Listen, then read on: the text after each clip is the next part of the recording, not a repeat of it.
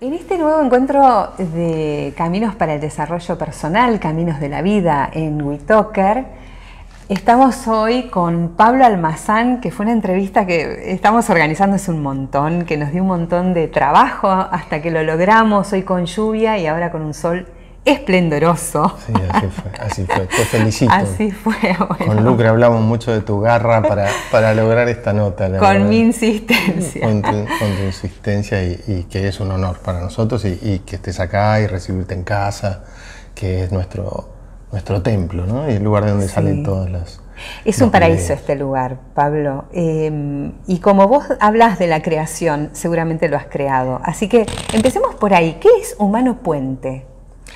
Humano Puente es un centro de conciencia y es un camino de conciencia a la vez que creamos con, con Lucre eh, hace ya varios años, eh, en 2011, caminando por las montañas, por el Cerro Champaquí, eh, en, un lugar llamado San Javier, en Tras la Sierra, en Córdoba. Ahí surge este deseo de crear una corriente que si bien iba a tener una base biológica, iba a ser siempre apuntando a que todo eso sea una puerta de entrada al ser, entendiendo como al ser, no lo que se comprende como ser humano, sino como a ese ser, al gran ser, que sea una puerta de entrada a lo más profundo y al más alto nivel de conciencia al que puede llegar un ser humano, más allá de que esto es un camino y que siempre se está yendo más y más profundo, pero hacia ahí es la brújula de Humano Puente, hacia ahí es. Pero los que los buscan a ustedes, eh, los buscan por, en general, por alguna inquietud, porque hay algún problema o hay algún problema de salud, alguna enfermedad. Eh, ¿Quiénes los buscan y qué ofrecen? En realidad, como buen camino de conciencia, el camino humano puente fue y es un camino dinámico. ¿Qué quiere decir que sea un camino dinámico? Que si vos veías, por ejemplo, el humano puente del 2011-2012, no vas a encontrar lo mismo en cuanto a profundidad que vas a encontrar hoy. Nosotros también comenzamos maravillados con la idea de que algo como una emoción podía impactar en la biología. Eso, eso nos sedujo, fue tan fácil y tan rápido comprobarlo que por eso también nos provoca cierta impotencia como comunicadores, lo que hablábamos antes de la nota, cuando uno quiere llevar conciencia a esa fantasía que es la realidad para despertarla porque es la impotencia de uno de querer despertarse profundamente. Lo que nos sucedió es que descubrimos tan rápido que era así, tal cual, pero lo que había sucedido y lo que encontrábamos en todas las corrientes del mundo era que después de esta propuesta hameriana de que una emoción impacta en la biología, había habido como una meseta, es decir, no se había pasado a otros niveles. Y lo que empezamos a ver con Lucre es que mientras más profundo íbamos, se nos mostraba de manera más evidente que en realidad, si nosotros hacíamos un trabajo completo, no solo se veía impactada la biología, sino la realidad completa de la persona. Y lo que estaba ahí detrás de esa primera gran verdad de que la biología se ve afectada por una emoción, visto del otro lado, era la confirmación de todos los eh, pueblos antiguos y de esta gran idea antigua de que la energía se convierte en materia. Entonces empezamos a andar por ahí y empezamos a decir, guarda, cuidado, acá apareció un hombre que dijo que no solo que la energía se convierte en materia, no se dio cuenta cuando lo dijo, porque dijo emociones impactan en la biología, pero si nosotros seguimos ese camino, este hombre nos está dando un dato muy importante porque nos dijo qué energía hay detrás de cada manifestación en la biología. Por ejemplo, detrás de un problema de garganta puede haber un miedo frontal porque impacta acá, puede haber una pérdida de bocado, un amor que se va, alguien que se aleja, una muerte. Hay determinado paquete de temas que te impactan en un lugar de la biología. Y como nosotros habíamos hecho esa traslación, esa traslación a la realidad toda, lo que no podíamos dejar de suponer e intentar comprobar era entonces debe haber una historia relacionada por extensión a cada cosa de la realidad. Vayamos por esas historias.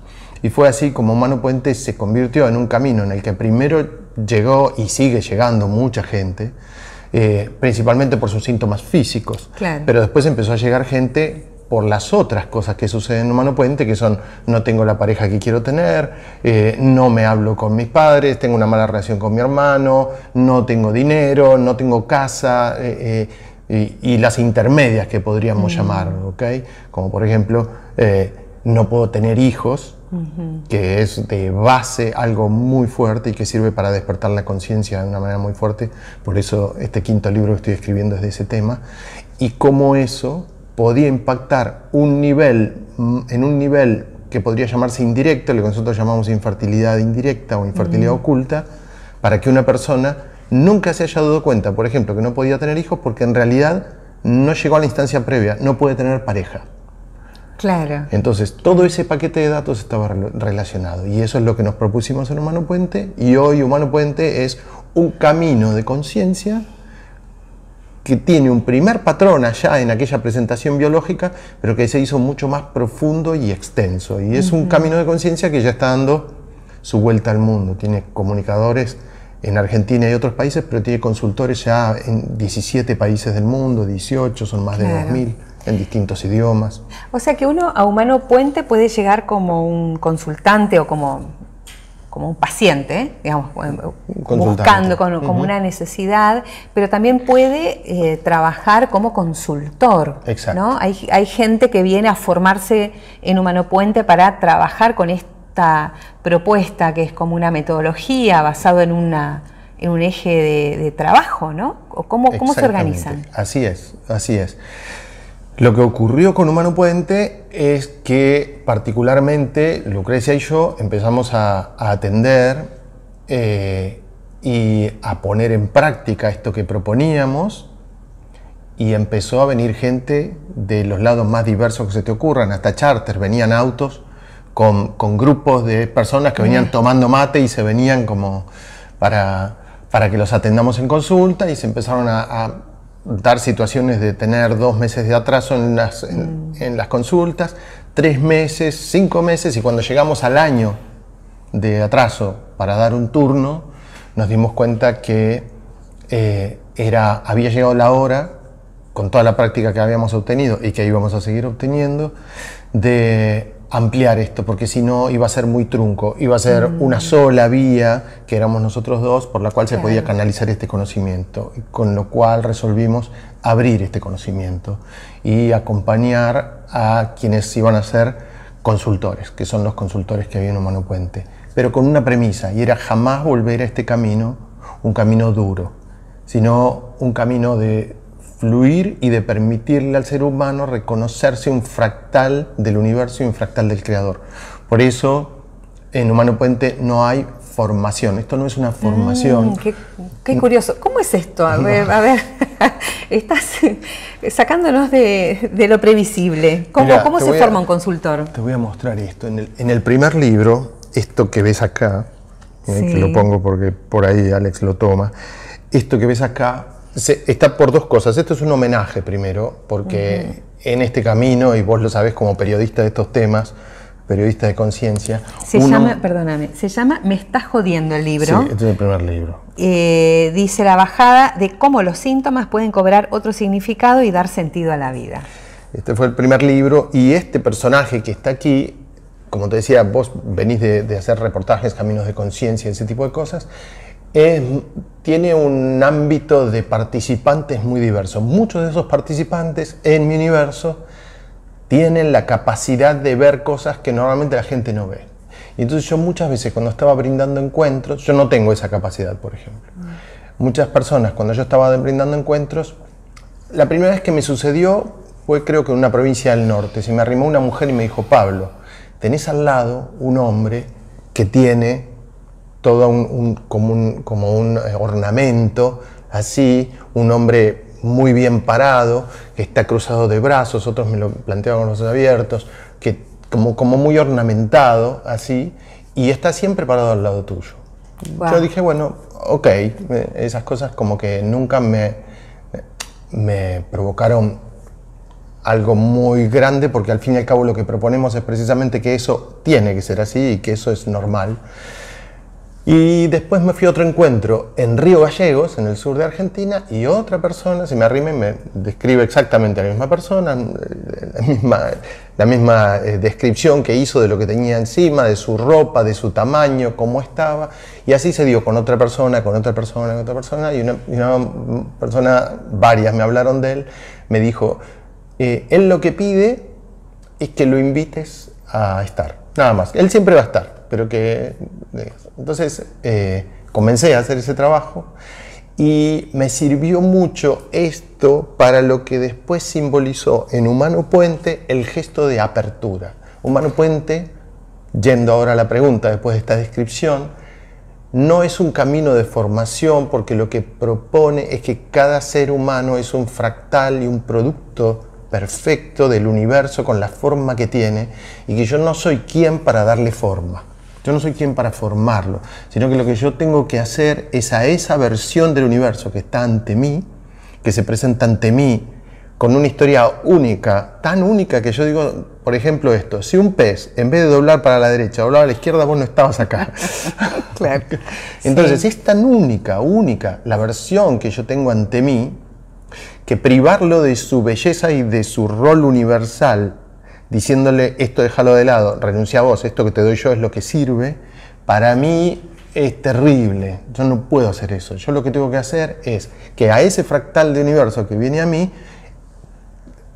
transmitirle este camino de apertura para que tenga una serie de inquietudes, no inquietudes, de herramientas que le van a aparecer desde su inconsciente en el momento en que tenga ante sí a alguien que le plantee un tema. Lo que adquiere en estos 13 días, que es el camino humano puente, es un camino de solo 13 días, siempre lo digo porque la gente se asusta, porque dice, pero yo fui a un lugar tres años y no se dio lo que sucedió acá, y yo le digo, todo bien y todos los caminos están bien, pero aquí son 13 días de una determinada lógica, y esas personas cuando se van de acá lo que tienen es un canal intuitivo abierto y la intuición es ese puente al mm. conocimiento total. Pero, pero desde una lógica, no es una intuición disparatada que no tiene asidero, porque el inconsciente es una mente absolutamente lógica y vos podés recorrer lo que podría ser caminos como neuronales, más allá de que no son neuronales, son caminos que podrían llamarse energéticos, aunque todo lo mm. es, pero vos vas, a tener, vos vas a tener una lógica que cuando alguien te plantee algo, no vas a pensar en lo que estudiaste, vas a sentir algo adentro tuyo que te va a decir, esto está unido con esto, con esto y con esto, y vas a hacer ese planteo. Entonces, muchas personas me dicen, bueno, ¿cómo es la currícula? ¿Cómo es el estudio? Lo que te contaba recién, yo le digo, mira, cuando vengas acá, hace de cuenta que estás sentada en la montaña, estamos metidos en una cueva, estamos tomando mate y vamos a charlar cinco días. Ahora, eh, Pablo, una persona que los busca a ustedes, es porque está en un estado de necesidad. O sea, la inquietud no es solo curiosidad mm. a priori. Eh, hay una necesidad, una búsqueda, una carencia de algo, un sufrimiento, un dolor, una enfermedad, una pregunta sin responder. Eh, ¿Cuál es el planteo de ustedes entonces ante, ante el que los busca?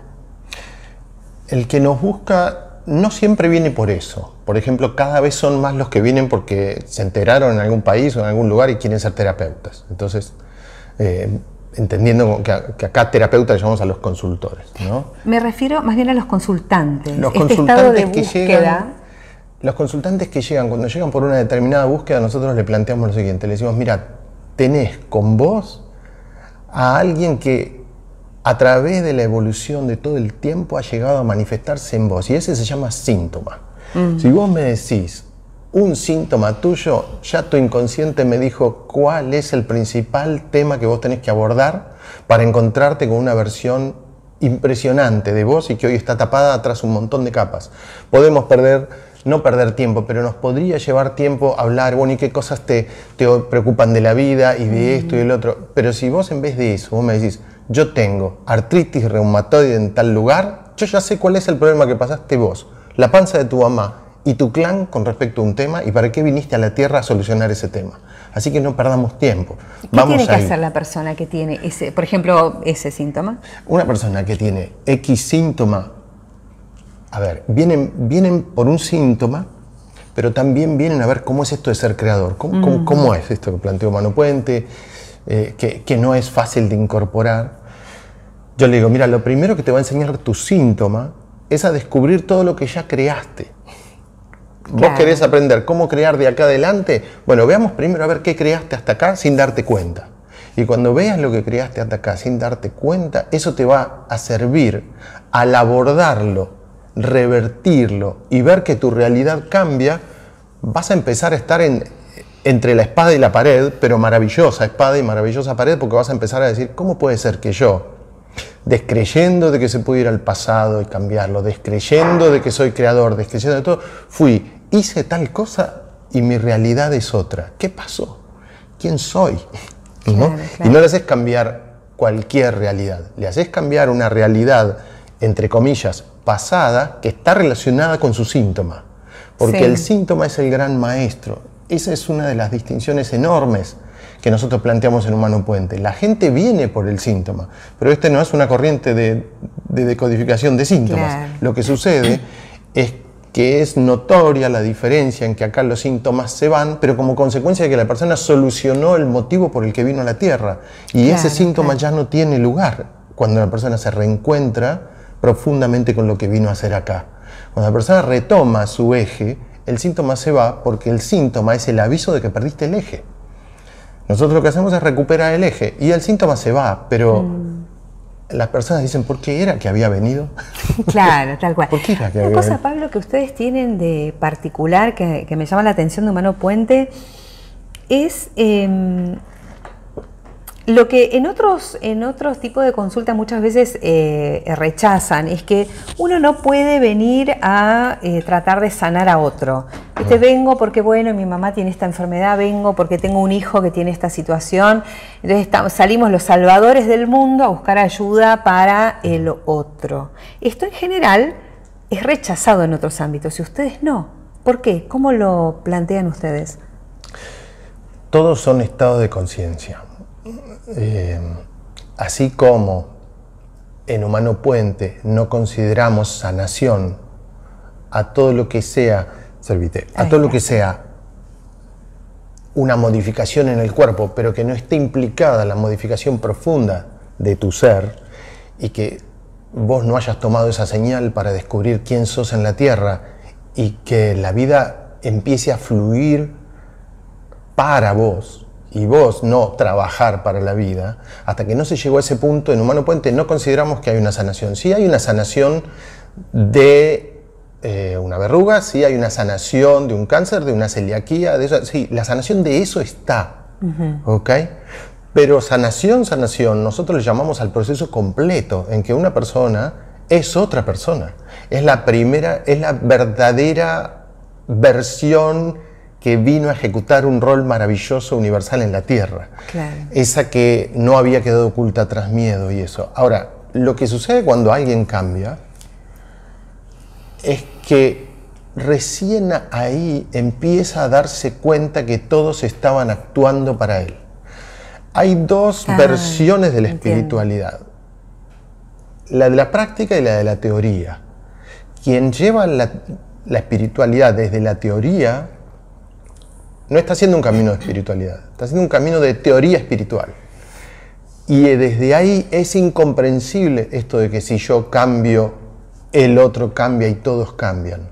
Ahora, desde la práctica, es imposible que eso no suceda, porque el que practicó la espiritualidad, el que hace un camino de conciencia, el que sigue el mensaje de su síntoma y llega al fondo, se da cuenta que eh, el vecino cambió, el hermano cambió, el amigo cambió, la economía cambió, la vivienda cambió, el trato con la pareja cambió, con los hijos cambió. Todos de repente cambiaron y no, el único que cambió es uno. Si yo me considero creador de mi realidad, yo no puedo llevar a cabo mi teatro de aprendizaje si no contrato a todos los actores para mí, si no contrato un director para mí, si no contrato a los camarógrafos para mí todo es una escena de aprendizaje, como se vio en alguna inspiración en películas como Matrix y como se ve en un montón de películas donde Morfeo dice, bájame el escenario para que aprenda tal cosa, bájame el escenario para que aprenda tal otro.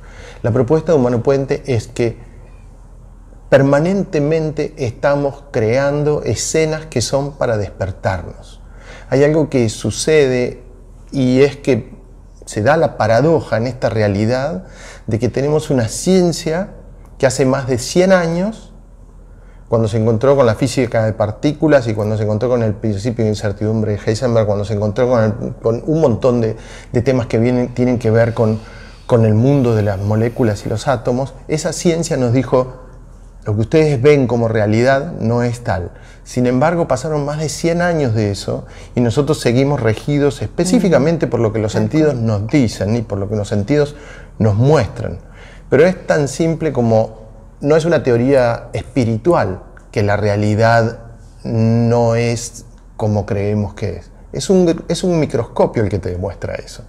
Es, es decir, al fin y al cabo, a no ser que uno no quiera verlo, todos hoy sabemos que estamos ante algo que parece material pero que es solo energético.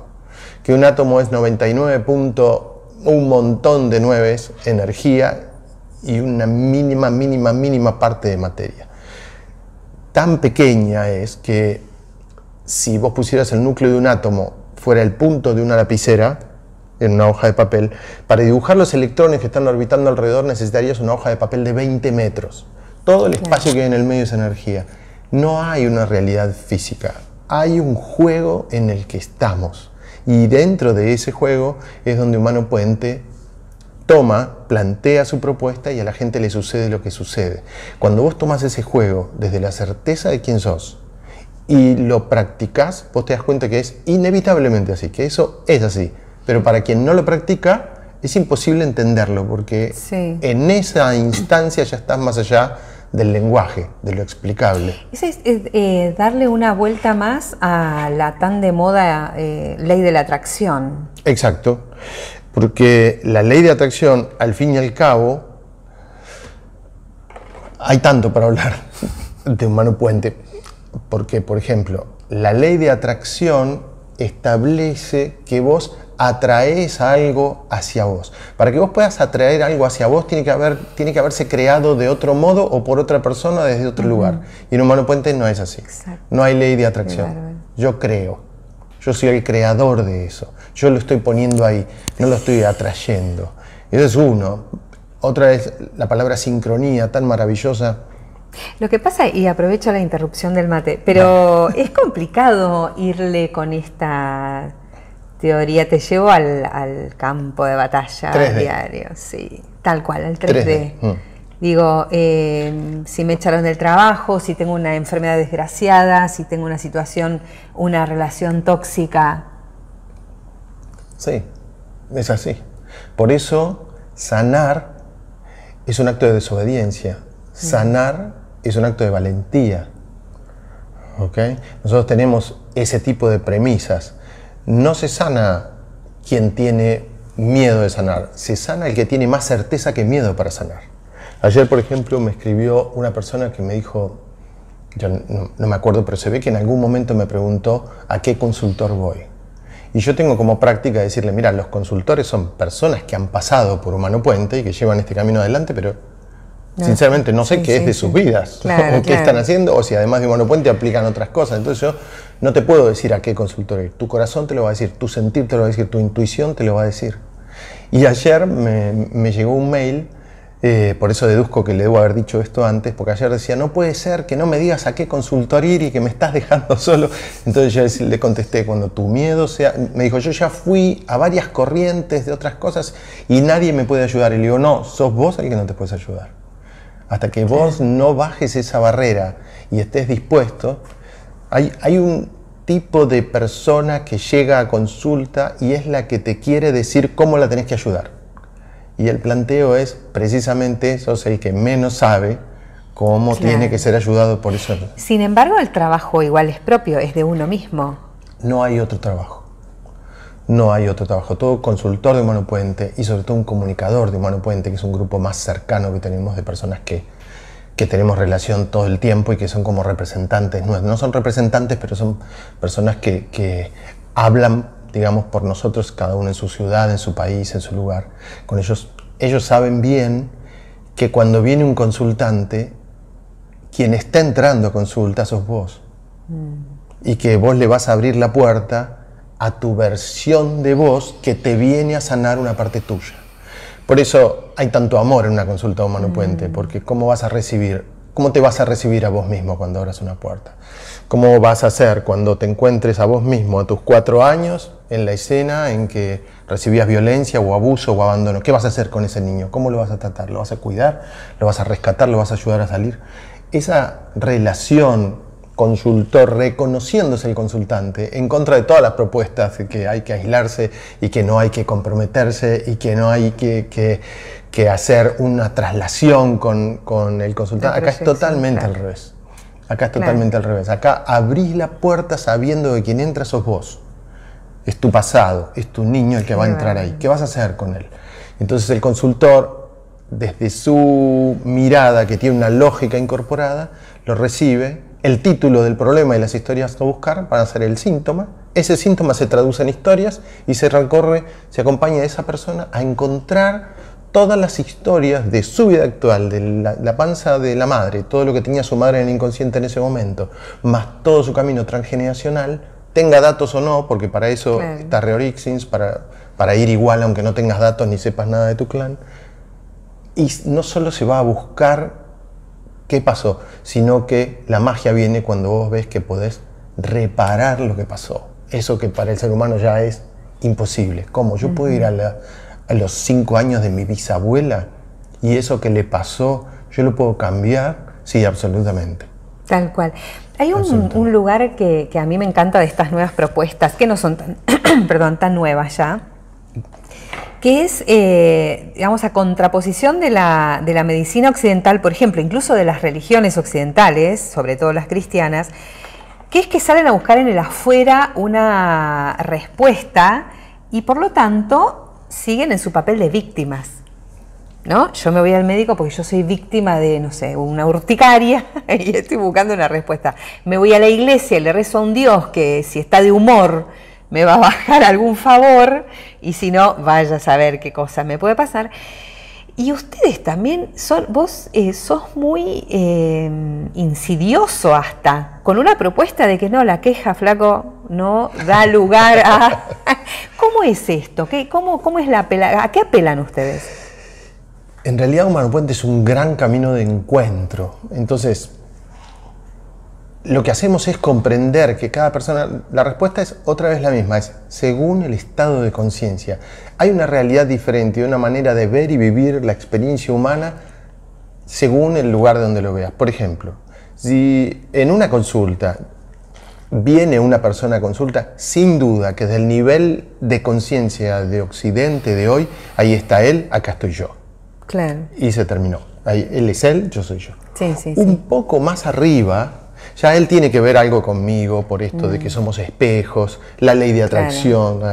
Un poco más arriba llegas a la indudable certeza de que todos partimos de un solo punto, de un solo origen y que somos todas versiones de lo mismo, encontrándonos con un objetivo determinado. Y ese objetivo, según Humano Puente, es la sanación del universo. ¿Okay? Algo así como la desaparición del universo que, se plantea en algún libro. ¿eh? nosotros decimos somos reventadores de soles. Eh, y, tiene su explicación eso, porque, pero por ejemplo, es tan transversal el camino humano puente que aquí hay sacerdotes, hay, hay curas que, que, que, hacen el camino humano puente, hay monjas que hacen el camino humano puente, hay sacerdotes que ahora en sus misas tienen una propuesta cercana al camino humano puente, porque acá no se trata de que, de que esto está bien, aquello está mal, sino de que al fin y al cabo, en la conciencia primera, no hay religiones, no hay medicinas de acá ni de allá, no hay diferencias, no hay idiomas, no hay razas. En la conciencia total hay un todo unido y permanente. Y si yo voy a hacer un camino, voy a proponer un camino de conciencia, diciéndole a un sacerdote esto está mal, o a aquella religión, o a esto y lo otro, mi camino de conciencia va a tener a lo sumo una propuesta opuesta. Y quien propone un camino de verdad sabe que cuando haya una verdad, cuando encuentra una verdad, eso lo va a poder corroborar porque su verdad contiene a la otra verdad, no porque se opone a la otra verdad. Claro, claro. Si la verdad que estás encontrando se opone a la otra, no es una verdad. Y seguramente ahí hay conocimiento, no hay sabiduría. El ser humano se rige mucho por el conocimiento y no por la sabiduría. En la sabiduría profunda está la unión de todos los conocimientos y no hay una oposición. Por eso podemos hablar eh, con, no solo con religiosos de religiones por ahí occidentales, sino con chamanes que están en el medio de la montaña, que, te mandan un mensaje. Yo tengo el honor que hay gente que ha llegado porque un chamán que yo ni conozco, que está metido en la montaña en algún lado, le dijo, tenés que ir ahí. Y hay gente que viene de una religión, hay gente que viene de, la ingeniería, y hay gente que viene de los sistemas, como yo. Claro, ah, mira, claro. Yo vengo de ahí. Ah. Y hay muchísimos médicos, hay psicólogos, hay psiquiatras. Hay, ayer escuchaba en un programa de radio a la doctora Fitzsimmons de Tucumán, Melissa, que la amamos, a ella y a su compañero. Eh, su, camino que la fue llevando Humano Puente, ella médica de familia y hoy ya, ya abocada 100% al camino Humano Puente porque fue yendo hacia ahí y hoy se dedica específicamente a, atender desde otro lado, digamos. ¿Qué es Reorixins? Reorixins es una, es una. Nosotros nos damos maña con Lucre, acá, está mi reina mirando, ¿no? Nosotros nos damos maña con los nombres, como diciendo, el camino Humano Puente es muy simple, lo bravo son los nombres. Lo bravo son los nombres. Lo tuve que leer porque me, me mareo, me pierdo. Me acuerdo cuando recién presento a Reorixins que Lucre me dijo, ¿qué nombre? Él digo, es que es como se llama esto. Reorixins es una sigla. La X es un por, en realidad. Y significa retorno al origen por interpretación de síntoma. Wow. Reorixins es la unión, y mucho más que eso, ¿eh? yo estoy diciendo, eh, pero no, no de modo que esto es mejor ni nada, con todo respeto. Amo las constelaciones familiares, Bergelinger me parece un maestro increíble, un hombre que, ha dado y sigue dando, aunque sensorialmente no, mm. no, lo podamos percibir, pero sigue dando enorme conocimiento a la Tierra. Pero hay gente que me dice, ¿qué es como las constelaciones? Digo, no, tiene algo más. ¿Qué es como la regresión a vidas pasadas? No, tiene algo más. Encima hablar del Hoponopono también. Hoponopono, algo más. Es que el Ese sí que es nombrecito mm. complicado para nosotros. Muchas veces utilizo la figura del doctor Hugh utilizo diciéndolo de, buena manera, ¿no? para que la gente tome conciencia de lo que proponemos en Humano Puente con Lucre. Porque al fin y al cabo a todo el mundo le encanta postear que existió una persona, que existe una persona, el doctor Hugh la máxima figura del Hoponopono, que trabajando en él sanó a 70 locos de un pabellón psiquiátrico. Entonces cuando dicen, ¿cómo puede ser que Humano Puente? Le digo, es un milagro. Es lo de Hugh claro. Lo que decimos es, es lo de Hugh Y hay otra cosa que nos resuena muchísimo del Hoponopono. No todas las cosas del Hoponopono mm. me resuenan, pero hay otra cosa que nos resuena muchísimo del Hoponopono y es todo síntoma es un recuerdo no sanado. Mm. Totalmente de acuerdo. Entonces, Reorixins no va a una vida pasada X y porque sí y a ver qué sale. Claro. Con Reorixins es por interpretación de síntoma. Yo voy a ir a la vida de cada ancestro o de determinados ancestros a buscar la historia que el síntoma me dice que busque. Claro. No cualquier historia. Entonces, sola, esa fuerza que tiene un sol, que es una emoción, por eso somos reventadores de soles, si querés te lo explico después. Sí, sí. Tiene tanta fuerza una emoción que cuando vos vayas a la vida de una persona, ese sol te va a hacer ir a esa situación. Mm. Porque las emociones son campos gravitacionales que hacen que la vida de las personas orbite alrededor de, ellos. ¿no? Una vez con Lucre haciendo este juego de los campos gravitacionales, ella me dijo, fíjate que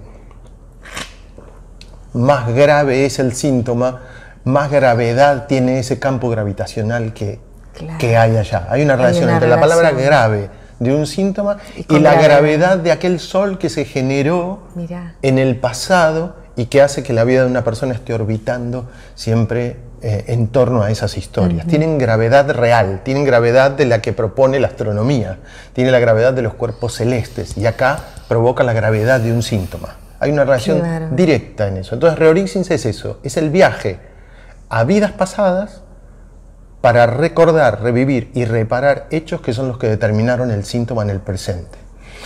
Y la maravilla de eso es que vamos de forma completa. Cuando buscamos a un violentado, buscamos quién lo violentó. Y cuando encontramos a alguien que lo violentó, vamos a su infancia a ver, a ver en qué punto de su infancia se volvió violento. Y sanamos a aquel niño. Y terminamos descubriendo muchas veces que las personas que hemos o que un consultante que ha sido violentado incorporó a su violentador en esa escena. Y por lo tanto, cuando sanás al violentado, aún te falta sanar al violentador para que esta persona termine de sanar. Perpetrador. Cosa que uno diría, no, pero a mí me abusaron, no quiero sanar, saber nada con sanar a mi abusador. No te preocupes, porque primero vas a hacer todo, vas a liberar tus emociones plenamente, pero después hay que ir a ver qué le pasó a ese victimario. ¿Qué le pasó? Yo no quiero dejar de preguntarte, em, porque creo que es un desafío para la medicina occidental, ¿cómo es posible que ustedes hayan tenido casos de sanar autismo, celiaquía? Mm. Claro, porque el cáncer ya se, ya se sana desde hace un tiempo. pero estos son desafíos muy grandes y vamos a patear el tablero. ¿De qué se trata esto? Eh, en realidad yo lo planteo en el primer libro, me parece que es el primero o el, tercero. Humano Puente lo que tiene es una, ningún tipo de juicio a ninguna corriente de sanación. Por eso, repito, acá hay más de 200 médicos, psicólogos y psiquiatras. Lo que hacemos es sumar, sumar, sumar. Hay que venir, es hora de venir a sumar a la tierra. No a que lo mío está bien y lo tuyo está mal. Es un camino de encuentro. Y en ese camino de encuentro, así como por ahí la semana que viene aparece en un instituto en Massachusetts que dice, acabamos de descubrir el gen tal, tal, tal, en Humano Puente lo que decimos es, miren, por este agujerito nadie miró todavía. Lo que venimos a proponer no es que tal corriente o tal mirada está equivocada, sino que simplemente no habían mirado en este agujerito. Si vos te fijas, por, por ejemplo, con la ciencia ocurre algo muy particular, y es que nadie se puede oponer a lo que dice la ciencia. Pero permanentemente la ciencia dice que ayer estaba equivocada. Qué loco. Ese tipo de cosas que estamos acostumbrados en la humanidad, como que solamente desde una autoridad se puede reconocer un error, pero que otros no podemos dudar de que haya un error, mm. son cuestiones de paradigmas. En Humano Puente lo que decimos es, así como todos los pueblos antiguos sostenían que hay campos energéticos que son los que dan forma a la materia, en el mundo actual, occidental, un mundo que carece inclusive de términos, por lo tanto no hay un pensamiento estructurado para esa idea, carece de términos para lo profundo, es imposible que se conciba un pensamiento que incluya a lo no sensorial. Entonces nadie va a mirar para lo no sensorial. Lo que hicimos en Humano Puente es, ok, trabaje en el mundo de la materia y está muy bien, pero nosotros trabajamos en el mundo de la no materia. En cuestiones que a uno le puede sonar, pero ¿qué es la no materia? ¿Estás hablando de espíritus? No, estoy hablando de que, por ejemplo, la abuela materna de un autista, cuando estaba embarazada de la autista, digo, hay gente que se enoja porque es un autista, pero trato de ser didáctico, de un niño que tiene espectro autista, cuando la abuela estaba embarazada de su madre, estaba viviendo un montón de emociones que se las tuvo que guardar y se tuvo que aislar del mundo. Y eso dio por resultado que su madre, que la madre del niño con espectro autista nació. Por lo tanto, como el inconsciente biológico solo te, te, invita a repetir lo que dio por resultado vida, cuando vos estés embarazada de este niño que después va a tener espectro autista, sobre todo si tiene el mismo número de hijos que vos, es decir, si vos sos segunda hija y naciste, ¿qué mayor gesto de amor biológico que a tu segundo hijo repetir todo el clima de embarazo que tuviste acá. Es una manera de ah, garantizarle la vida. Entonces, acá tiene una primera capa de cinta aisladora. Acá le vas a poner la segunda capa de cinta aisladora, aislándote de las emociones, guardándote secretos, pero no por mala o por tenerlos, sino porque son dolores que no, no logras expresar, porque son muy fuertes para vos. En muchos casos hay historias de incesto, muchas hay historias de no nacidos, de violencia, de desvalorización en el momento, de invasión en el territorio, de amenaza en el territorio de esa madre, porque está en un territorio en que no puede expresar lo que siente, entonces dice, me tengo que aislar para sobrevivir. Y la abuela materna decía, me tengo que aislar para sobrevivir. Todo eso no está en materia. Todo eso está en datos, todo eso está en emociones, todo eso está en el inconsciente. Esas son las propuestas que tenemos en Humano Puente. Es decir, eh, hay que abordar y por lo menos fijarse si eso funciona así, no es muy difícil, no es que una persona le estás diciendo, bueno, inyectate este elemento radiactivo. Estás diciendo, no, sentate en una silla y veamos qué pasa si viajamos al momento en que tu mamá estaba en la panza de la abuela materna y sacamos esa vuelta de cinta aisladora. Ayer le comentaba a una amiga que es celíaca, que mm. te venía a entrevistar hoy. Entonces le comentaba esto, le digo, ¿vos te animarías? Ella me dice, yo no creo que me anime a probar si la harina me deja de hacer daño. Claro. ¿Qué harías vos con una persona que hace un planteo de ese tipo? Difícilmente venga a consulta. Claro. Una persona que hace. Acá, Humano Puente, si hay algo que nosotros decimos siempre, vos planteabas lo de las religiones hace un rato, ¿no? Yo te decía, estamos. Es un lugar de unión, pero Humano Puente jamás le va, a, le va a golpear la puerta a alguien para que haga algo, porque ahí me estoy olvidando Sí. que yo soy el creador de ese ser.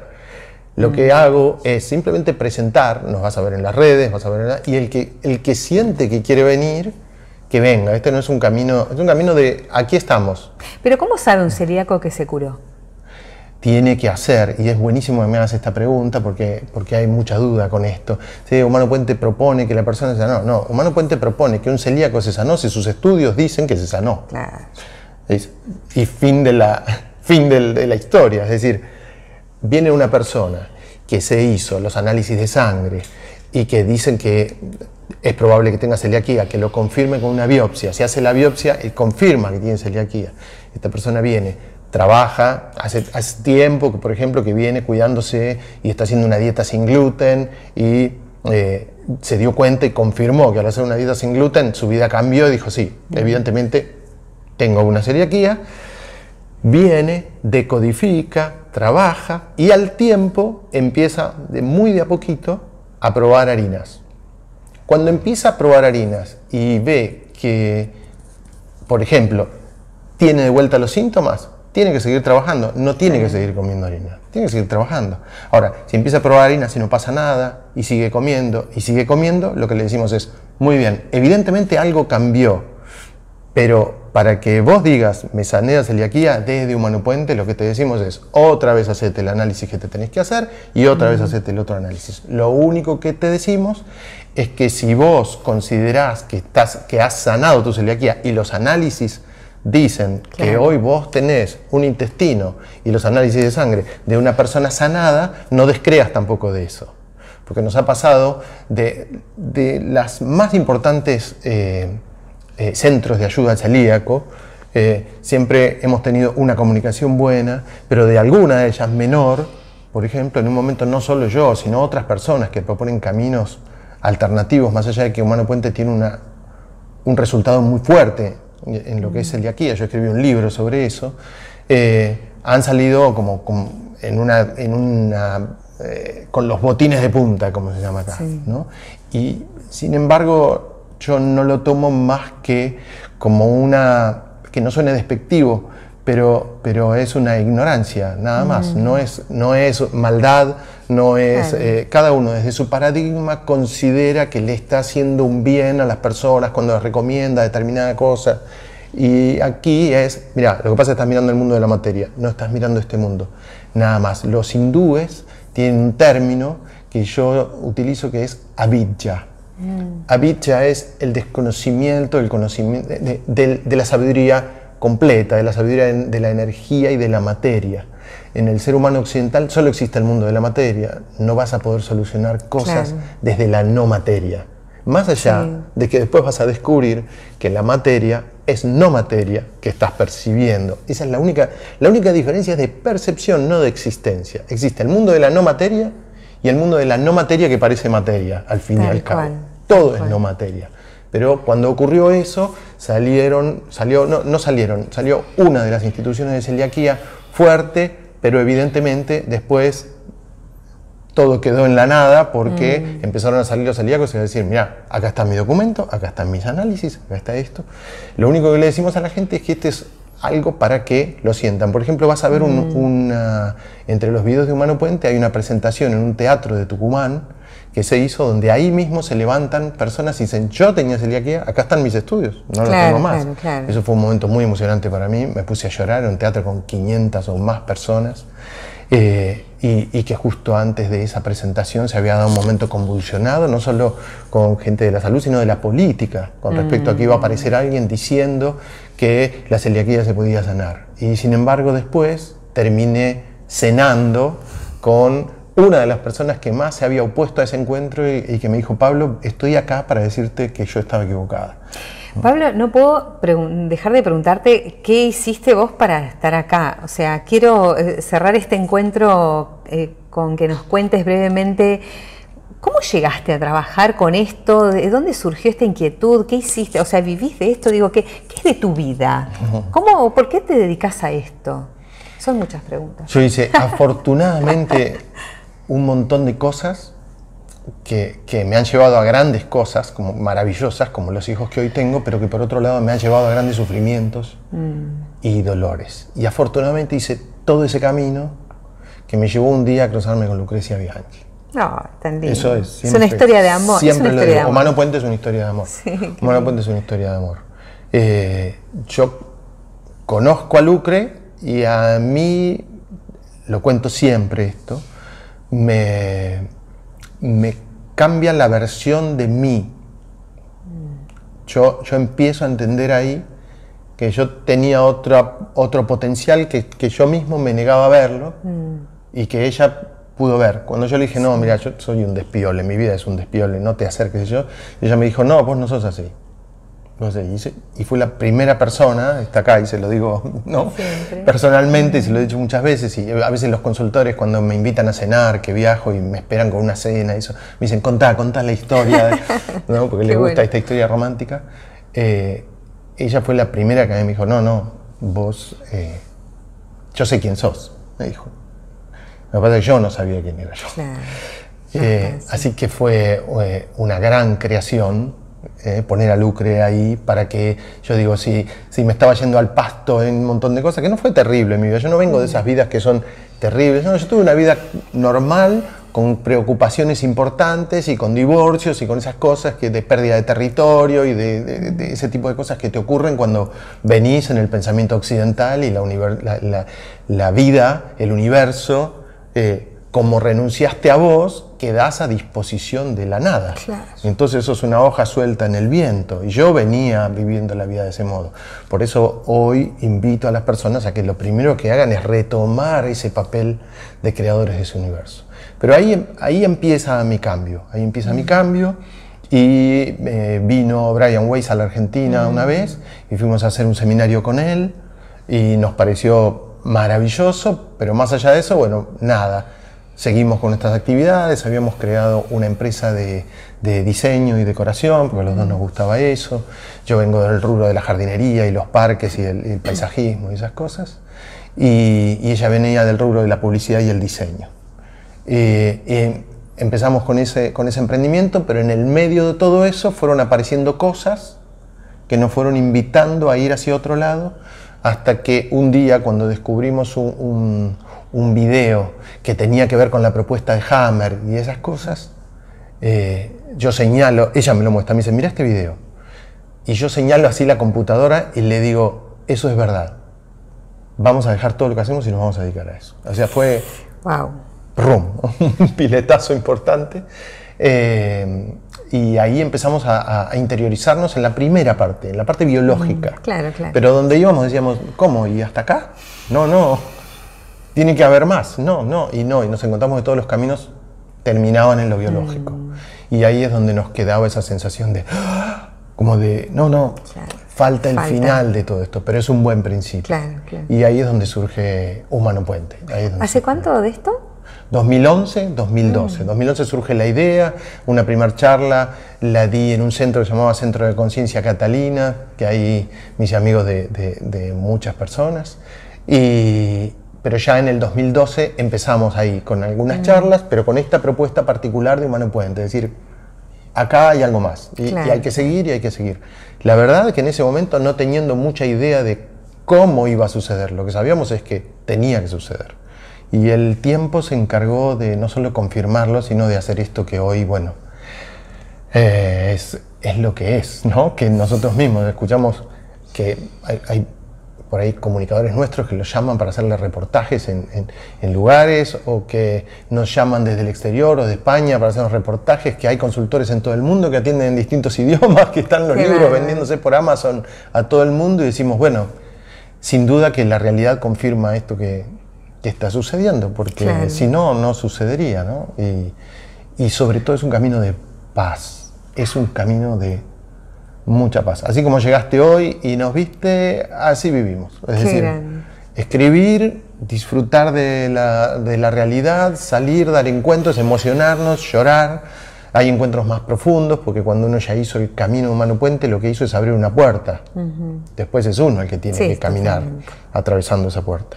Para los consultores que atravesaron esa puerta, cada tanto se hacen encuentros de conciencia en la montaña. Mm. Esos encuentros son para los que ya vos podés hablar un lenguaje que no hace falta explicar tanto.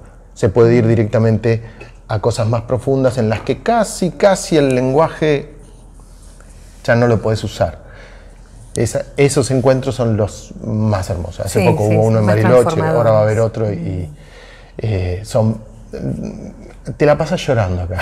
Qué suerte. Lo cual, Fantástico.